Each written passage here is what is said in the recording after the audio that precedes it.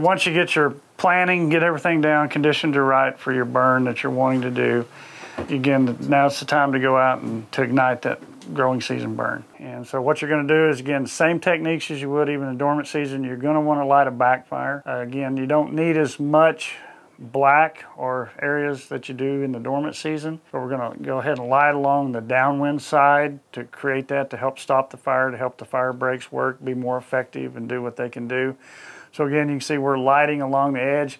Sometimes too, growing season burns, you got to light a little bit slower just because you're trying to get that fuel down into that dormant fuel down in there to get it to start burning, get it going and walking along through it. Again, the other thing is you can see growing season burns do produce a lot more smoke just because the green and the water vapor and stuff, more water vapor getting more out in there. So smoke along the downwind sides a lot more, so having to kind of patrol, but also making sure people stay out of a lot of smoke so they don't eat a whole lot of smoke. To do that, just keeping everybody safe, working along with it. Sometimes, on depending on the size of the burn unit, you can burn it with different techniques in this burn unit, we're going to burn it with some strip head fires to help speed up the ignition so it'll burn a little quicker. So again, we're going to run an initial torch along the downwind side edge and we're going to move in just a little bit, run another strip along through there, then we're going to widen out, run another strip just to create a bunch of smaller head fires that will hopefully increase the burn rate of this, make it burn quicker, make it burn better, and get this over with a lot quicker.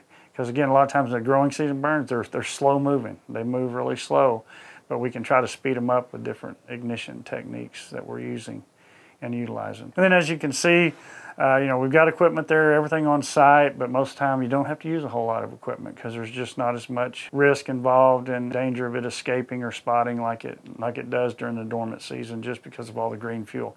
Again, not saying you shouldn't. You got to always be prepared for it. Again, same equipment, everything out there, but you know, the risk is a whole lot less. But the main thing is, is that yes, we have top killed it, we've done it, and now it's gonna start greening back up. Like I said, that, that burn you were in this morning, that was 11 days regrowth. So, you know, a lot of times I hear people talking about, especially dormant stuff, I don't want to burn because I don't know if it's going to rain or not. Okay? In the spring, you know, late winter, spring. Okay? Well, for, for, for people making excuses of that, this answers your excuse because we know how much rain we just had. Let's burn. We know it's wet. You know, we, again, we can't guarantee that it's going to rain tomorrow or it's going to rain even any more this month. But we know we're wet. We got better chances if stuff's going to come back, right? This time of year. It definitely greens up really quick, you know, within in these growing season burns. I see I see responses. I, I've gone in and had four inches of regrowth within seven days on sumac you know, and stuff. I mean, just stuff just responds rapidly because it's warm, soil's warm, air's warm, and you got moisture, and stuff's going to respond. And so, question, yeah, John, something I hadn't heard anybody say today, and, and uh, my summer burns, even in the spring, are the first to green up. So it's like burning twice.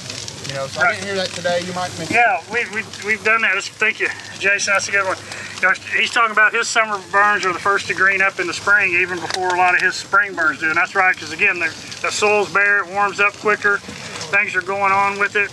So going to do it. A lot of times it is, and, and we've seen that on some stuff. I don't think Laura talked about it with the cattle stuff on the forage quality, but we've actually seen stuff where we burned in August, you know, July, August time frame. Again, get a spike in crude protein, forage quality goes up, and again, it goes down over winter but then it goes right back up real high just like you just burned it on that same spot in the spring. You don't get that with a spring burn. You only get a one-time shot with that. That's that year of the burn within that. So a lot of times our growing season burns are giving us two times the amount of higher quality forage for livestock or nutrition level for wildlife.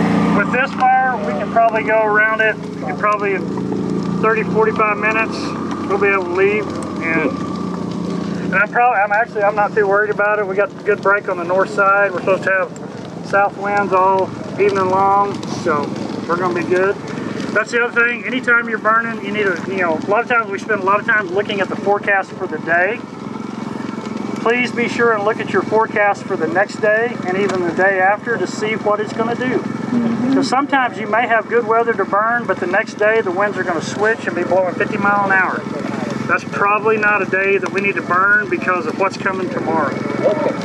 So look at that. Don't just get caught up looking at the day that you're going to burn. Look and see what's going on. And that's the nice thing about growing season burns. What's our weather pattern right now besides wet? But it's consistent, isn't it? It's going to be really consistent. We don't have a, you know, we don't have a lot of fronts coming through, a lot of wind switches, a lot of that stuff going on like we do in the spring that we're constantly fighting. Summertime weather patterns are just a rubber stamp. You know, it's constant this temperature, this wind direction, and this. And the weatherman typically, when it's dry, they put a chance of rain at the end of the seven day forecast just to make us feel good.